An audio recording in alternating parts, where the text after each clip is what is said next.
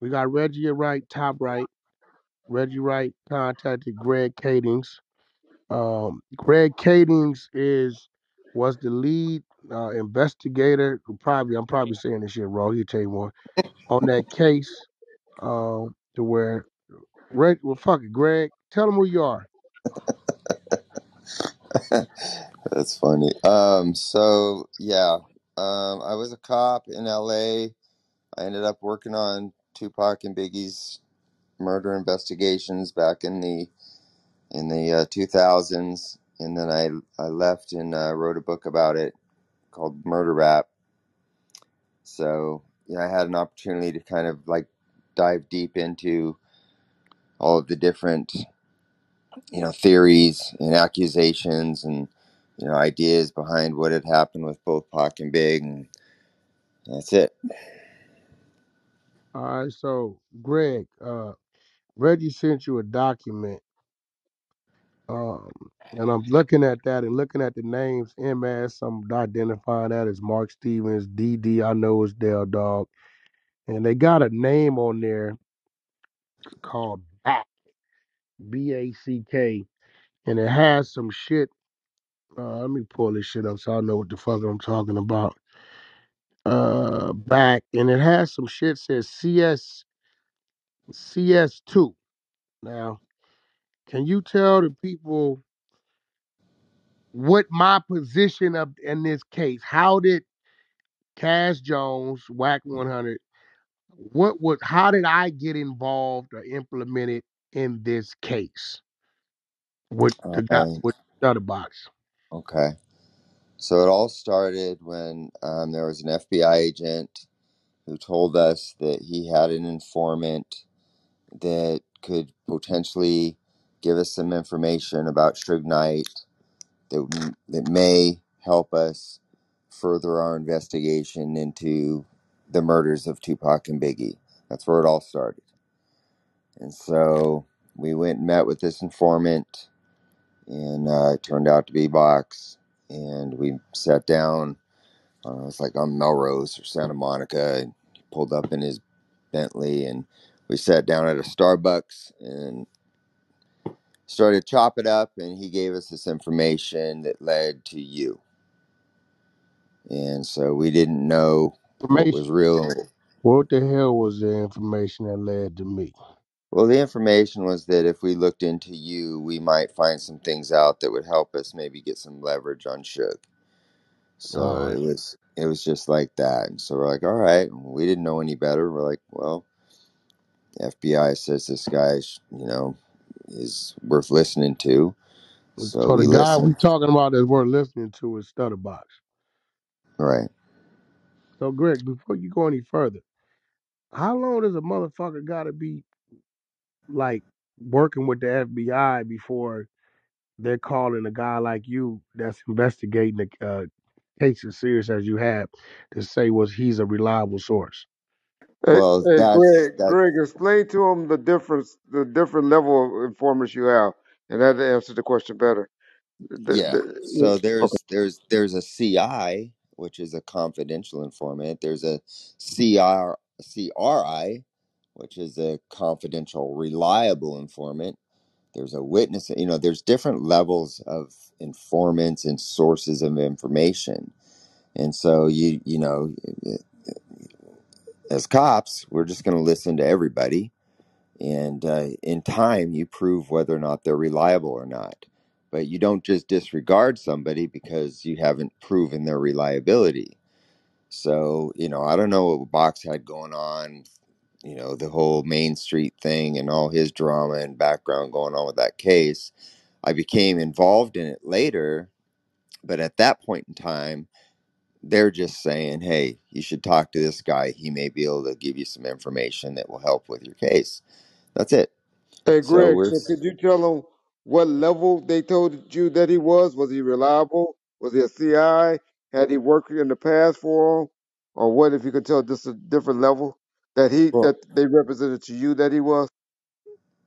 Yeah, and to be complete, perfectly honest, I don't remember exactly what the, you know, language was or what, uh, you know, qualifications were. It was just like, hey, we have this guy.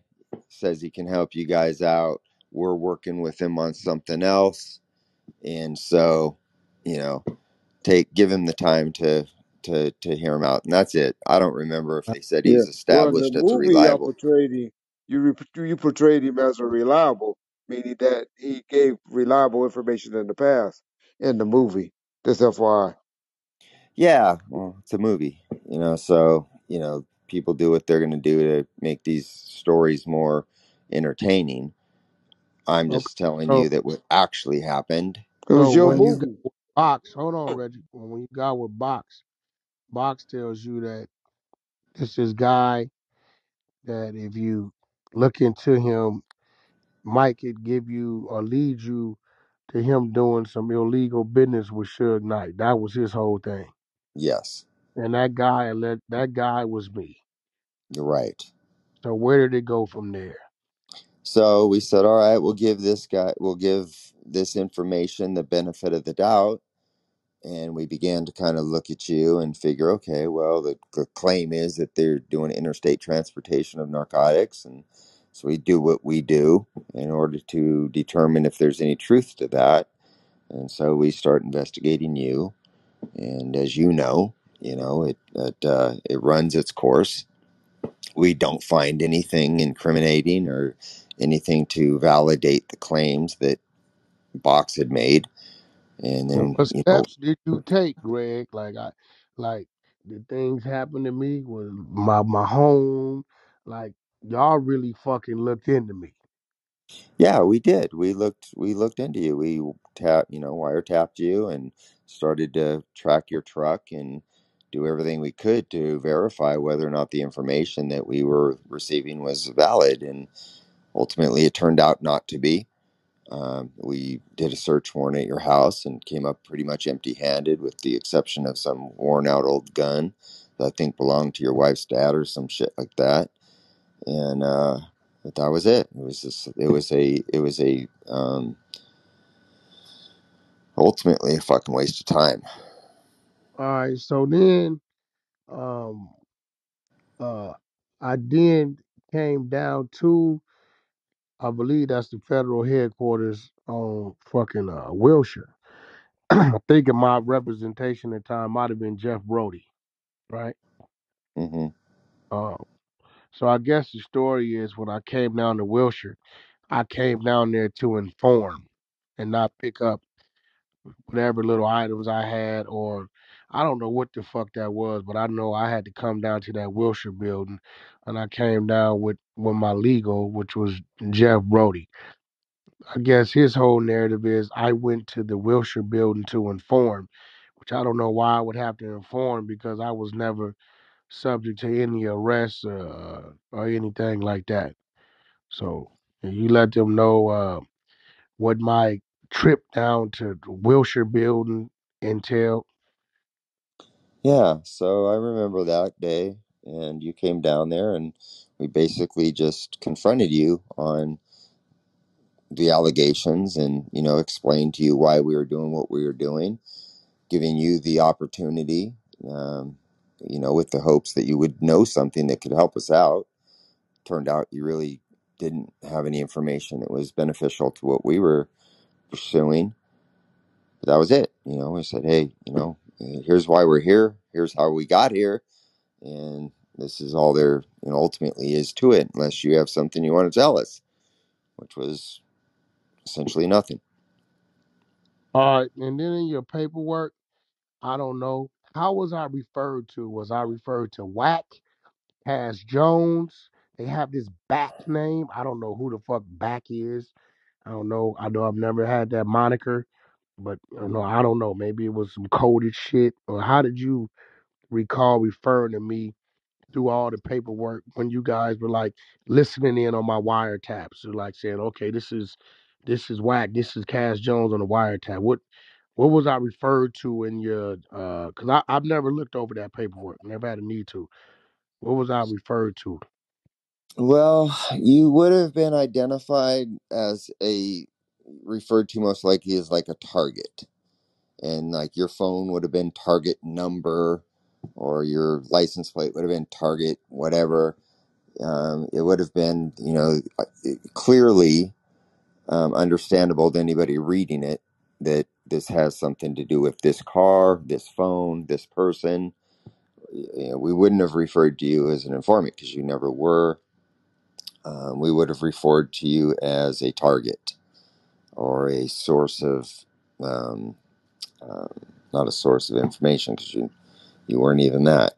So, uh, you know, I'm a little vague on it right now because it's been a while, but you would have been most, you know, we would have referred to you by your name, Cash Jones. We don't usually use monikers under those circumstances, like like Wack or Wack 100. It would just been, you know, a But shit, target. Wack Sus- 100, I don't think Wack 100 existed yet. it may Wack, not have. no, he wasn't. He wasn't created. I don't know. Uh, all right. Well, listen, man. Reggie, I fucking appreciate you. Um, No this was problem. a guide in because I don't like to do all the back and forth about the shit. Um, T, you here? Yes, Come on, sir. Mike. I tried to get Lamonte, the guy who had the allegations. T Beats, y'all got any questions? Anything you may feel like you want to ask? I wasn't over there in this room. Uh, Um, they said something about you going somewhere to a hundred and something floors. Some no, that's the federal building that he said I came to with my attorney. right, right. He addressed that. Uh, Beats, you got any questions? I just seen Ghost come in. He was one of the ones over there. Ghost. No, that's the dude. What is he? Just G H O T? But uh, Yeah, G H G H O S T. well, shit. I don't. I don't hear T. You grab him if you're down there. I really wish one of them was in here, but I can let uh Greg go. See if he'll come up because I know Ghost. He really got a thing for me, so he gonna ask some great questions. Yo, Greg, how successful was that movie, man, on Netflix, man? It, it's still one of the top picks I see up there, the uh, Unsolved. You know, they got it pretty much right. It's Hollywood, so they've got to do their thing in order to make it entertaining. So I'm not going to say it's 100% accurate, but as far as the investigation goes and the conclusions of the investigations, it was solid. You know, I I truly believe, and mm, well, I'll say I know that what we said in the you know the uh, the ultimate explanation for how Pac and Big died, I know that to be the truth. Got you. Um, Hey, hey, but Greg, did you ever hear that interview with Biggie's mom where she said she believed 97% of the uh, uh the information from that Yeah, uh to be accurate? well, I did actually, and and more importantly, that's exactly you know when sh when I met with her and spoke with her, that's what she told me face to face. And so, you know, she's caught in a weird position. You know, she's got she's just in a it's a tough position for her to commit to anything a because of the amount of money that got spent trying to pursue a false theory and b she has to keep things open for her grandkids because ultimately if new information came out that was reliable and provable her kids could open up that lawsuit i'm sorry her grandkids could open up that lawsuit again. So she's in a position where she has to play it strategically. Um, i think she believes what i had to say was true but she doesn't know in the depths of her heart that it's true. And so she's just keeping things open No, I think yeah, yeah, I think 97% is a high percentage though. yeah that Yeah. like I said, I'm a hundred percent. So it's never going to go anywhere, you know. But uh, I, I don't, um, I don't fault her for doing it the way she's doing it. Hey, um, I know because I, I, I know because I've been contacted by him. What do you think is going to happen on the Keefe D situation? I know we're getting off subject, but I think they wait for somebody to come up to ask you a question. Uh, have you, can you divulge if you've been contacted recently on that matter? I put out a video about on Bomb First about two months ago saying that uh, I believe that Keefe D is going to be ar- arrested soon. I know that detective that's on the case is trying to close the case up uh, what's your that's like feelings or what's your Nevada thinking? now, right? Is that Nevada now, Reggie? Yeah, we talking about Nevada now. Oh. Yeah, so it's on Pac's case on Tupac's case, and so yeah, I got contacted by the current investigator, who's um, apparently going to be retiring soon, and kind of wants to put this whole thing to rest once and for all before he retires. So I spoke with him, and you know, he said he's you know uh, his um, his intentions are to try to resolve the whole thing before he leaves, but whether that happens or not, we'll see. I mean, you know There's so many different obstacles to overcome with this shit. All Yeah. right, well, listen, man. Uh, yo, T, any of them want to come up? I sent uh money train the invite. Ghost ain't right, come back. all right well, shit. They Um, just like to talk here to you, whack. They don't like to. They don't like to get the facts uh debated. I mean, you They just know, like to one talk thing here and about tap at me, people. one thing about me, and one thing I remember Greg said to me when I went down there and, and we closed this shit out with my legal beagle, my attorney. He said, "Man, you different from the others. Just keep doing what you're doing. You'll be all right."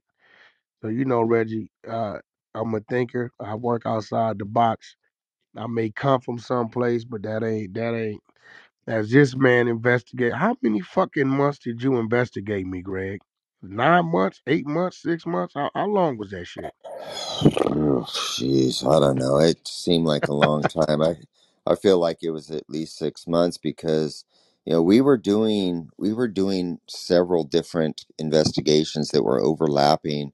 We were doing the whole Main Street thing with Doe Dog and you know all the shit going on with Stutterbox and that whole thing at the same time. Like we're literally in the same room listening Talking to the about when he same filed the phones. kidnapping charges against the main streets. What's that? Talking about when he filed the kidnapping charges against those seven, eight dudes from Main Yeah, Street. So, you Gotcha. know, we were up on Dell's phone and I think some cat named Wood or something like that. And then I, I can't remember everybody, but like there's this whole large investigation going on with the main streets. And then we got Keefe D going on and then we got you going on. And so we're all in this room and just kind of cross referencing everything, trying to figure out what's what. And so, I mean, there was a You lot can going tell them they on. came knocking on my door too. and then, of course, Yo, yeah. And then, of course, the Reggie component yo, to it buddy, all. train. Come out, few train. Yeah, I'm on here. Yeah, I wasn't in that room over there, but is there any questions or anything you may have heard? This is the lead detective on that case and the documents. He been answering questions. Any questions or anything you might have heard over there that you want to ask a question about? Nah, I was not really listening. Um, I was trying to really get what they was trying to say at the end because I was driving, um, getting All me right. something to eat, but I really didn't get a chance to really hear Oh, in it'll be on the replay. The Greg right here, he's the one that unsolved. You see on um, Netflix, the Biggie Tupac thing, um, the book Murder Rap, which is still on. Um, damn, what's the name of that book thing? Because I downloaded. Where is it at, Greg? The book Murder Rap. Where can they find that? I just pull that off Amazon. Amazon Murder Rap, Amazon author Greg Cadence. Uh, you can go to the chapter called Stutter Box. You'll see photos of me and all that shit and the whole storyline of me, uh, how um, I got implemented and all that. He breaks that down. He just answered all the questions. This little document I got a hold of, and he breaks down that I would have been identified as a target, not a CI, a CS, or none of that. And my name would have been simply Cash Jones, not whoever this back dude is. So I don't want to hold you, Greg. Hey, Reg, I appreciate you for pulling that No string. problem. Also, unsolved as well is where the main information come at in, in, in the TV show Unsolved. y- You guys. Yep. Yeah, it's on Netflix. I know you can find it on Netflix. I watch at least once a month. Um, you watch yeah, Netflix once a I don't. I don't think that truck driver look like me, man. That truck driver dude, he don't look like me. Oh man, yo, I had nothing to do with the casting of it, Cash. If I'd if I'd had something to do with the casting, I would just called you. Yeah, you love the guy that played you though. y'all, y'all, y'all at you- least could have gave Kay Slay some promo and put the Straight Stud magazines back then. Oh yeah, I guess it could have. hey man, I appreciate you, man, taking the yep. time. Yo, Greg, you you still active or you you retired, right? Oh man, I've been I retired in 2010. It's been a Oh, minute. sh- oh Yeah, shit. I yeah, yeah. goddamn. Greg, I- Greg, uh, Greg worked for the Amber Alerts. He the one to go around teach people how to work Amber Alerts and stuff. Got it. Reg, I appreciate you. Greg, I appreciate you, man. All All right, right, Uh, guys. I All right, appreciate Uh, you all right. know how to look the top right says leave quietly, then that's how you can leave. You Thanks, can Greg. You Appreciate you. guys got it. I'll talk to you, man. Be good. all right.